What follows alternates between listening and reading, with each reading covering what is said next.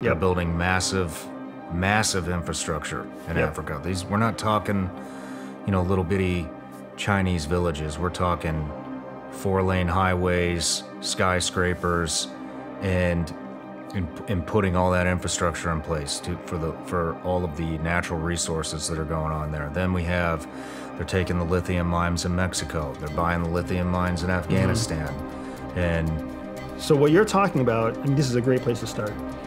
What you're talking about is something that's known as the Belt and Road Initiative, the BRI.